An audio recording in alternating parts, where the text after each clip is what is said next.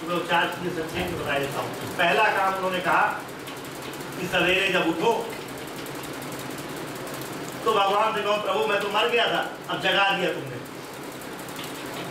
जगा दिया तो तुमने कोई काम के लिए जगाया होगा ना, कुछ तुम्हारी इच्छा होगी, कुछ उद्देश्य होगा तुम्हारा, वो उद्देश्य इस शरीर के जगने से पूरा हो। क्योंकि तुमने मुझे जगाया, कुछ करने के लिए जगाया होगा ना। तो भगवान से प्रार्थना करो हे प्रभु, जो दिन भर मैं करूँ वो तुम्हारी प्रसन्नता के लिए करूँ और जो कुछ मेरे दो, वो तुम्हारी पूजा हो और जब सोने जाओ, दूसरी बात, जब सोने जाओ तो भगवान से प्रार्थना करो कि प्रभु, जो भी मुझसे गलती हुई हो, सही हुआ हो, गलत हुआ हो तो तुमने कराया। प्रभु, इसको क्षमा करो। इसके कर्म, पाप, पुण्य, फल के साक्षी तुम हो, तुम ही स्वीकार करो। तो बोले, कल्याण हो जाएगा। जगने के समय प्रार्थना करो, सोने के समय। और दो चीज़ें और करो। एक काम करो कि 10 15 20 मिनट 30 मिनट जो भी तुम्हारे को समय निकले, उसमें ध्यान करो अपने इष्ट का। और उस इष्ट को ध्यान करके खूब गले लगा के रो। कि कहाँ फंसा दिया, कहाँ अच्छी बुद्धि दो, कुछ करो जिससे मैं सागर से बहुत सागर से पार हो जाऊँ इसी से कल्याण हो जाएगा। आँसू, जब भगवान की याद में आँसू बहते हैं तो सारे चीज़ों के आपके कलुष को मन के धो देते हैं और आपको पवित्र बना देते हैं। तो सारे कर्म इसीलिए तो कर रहे हैं ना कि चित्त शुद्ध हो जाए। अंताकरण की शुद्धि के लिए कर्म कर रहे हैं। तो ईश्वर से प्रेम भाव से रोने से चित्त की कलुषता नष्ट हो जाएगी। तीसरा काम करो। और चौथा रखा। बताइए आप तो। चौथा था आप बोले। चौथा था आप जोड़े। टूटता जा रहा है। एक ये था सवेरे शाम एक ये वाला और चौथा सरेंडर हाँ सरेंडर उन्होंने वही कहा था समर्पण कहा था उन्होंने उनको समर्पण कर दो और सब में ईश्वर भाव दे हाँ सब सबको ईश्वर भाव से देखो और सबको ईश्वर समझ करके उनके साथ प्रेम पूर्ण व्यवहार करो।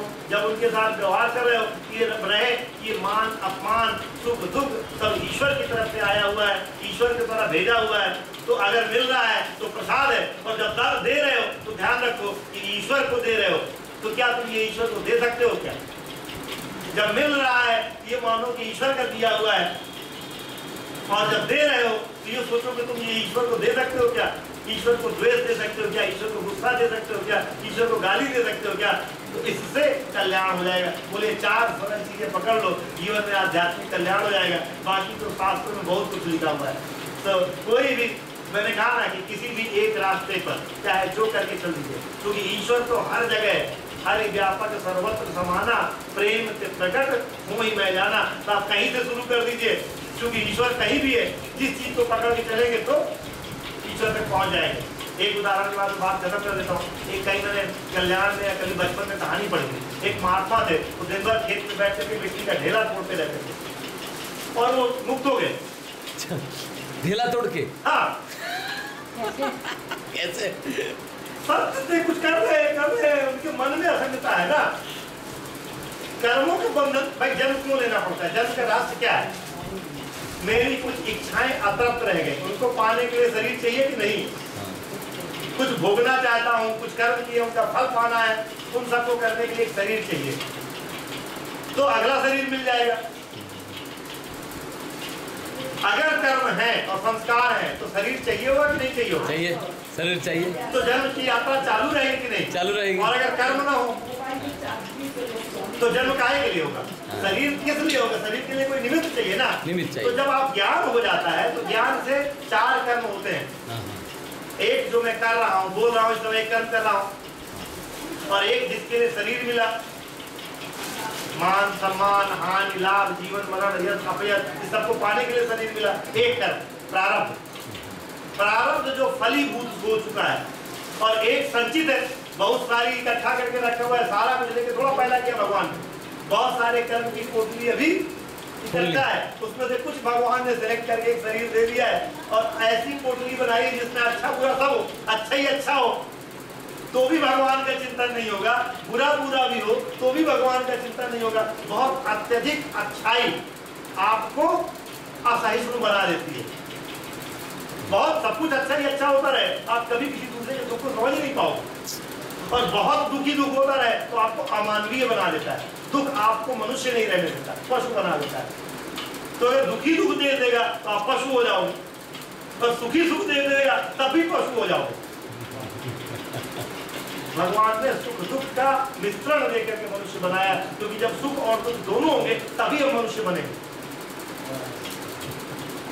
तो शरीर मिलता रहेगा। तो अगर हम ज्ञान के द्वारा संचित कर्मों को नष्ट कर दें,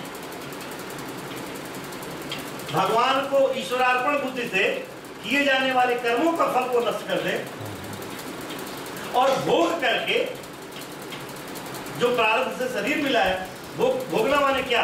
रोए गाए बिना भोगना। जब भी हम कोई काम करते हैं, फल खाया तो फल के दो फल हैं। फल खाते ही अच्छा या बुरा लगता? एक तत्काल फल, ये भोग रखी हुई। और फल खाते ही एक सूक्ष्म संस्कार पड़ता है। फिर से उस फल को खाने की इच्छा होती है या फल को नहीं खाने की इच्छा होती है? कोई खाना खाया, आपने भोजन किया, भोजन अच्छा लगता है, खराब दो चीज़ें होती कि नहीं? तो एक तो तत्काल सुख दुख की प्राप्ति होती है और एक संस्कार का निर्माण होता है। वो संस्कार क्या करता है? वो संस्कार पुनः खाने की इच्छा पैदा करता है या पुनः प्राप्त होने पर उसको अवॉइड करने की इच्छा पैदा करता नहीं तो राग द्वेष पैदा करता है। अगर जब चीज़ उपस्थित हो तो बिना राग द्वेष जगाए अगर हम चीज़ों को भोग सके तो जो भोगा जा रहा है कर्म वो नए कर्म का निर्माण का सृजन बंद कर देगा। यही साइंस है, यही मिस्ट्री है, यही रहस्य है कि कर्म को कैसे किया जाए कि उसका संस्कार न बनने पाए। पूर्व संस्कर्म ज्ञान से नष्ट हो जाएँगे, वर्तमान कर्म दीक्षा से नष्ट हो जाएँगे और भोग करके नष्ट हो जाएँगे और जो अभी कर्म कर रहे हैं फलों का भविष्य के लिए ईश्वरार्पण बुद्धि से नष्ट हो जाएगा और आपके पास जब कर्म नहीं होगा तो मोक्ष हो जाएगा, मुक्ति हो जाएगी। क्योंकि शरीर किसके लिए मिलेगा। इतना छोटा सा रहस्य है, इस रहस्य को समझने के लिए बहुत सारे शास्त्र थैंक यू हम लोग आलोक शुक्ला साहब के आभारी है कि अत्यंत प्रेम भाव से उन्होंने ये सब चीज़ समझाया।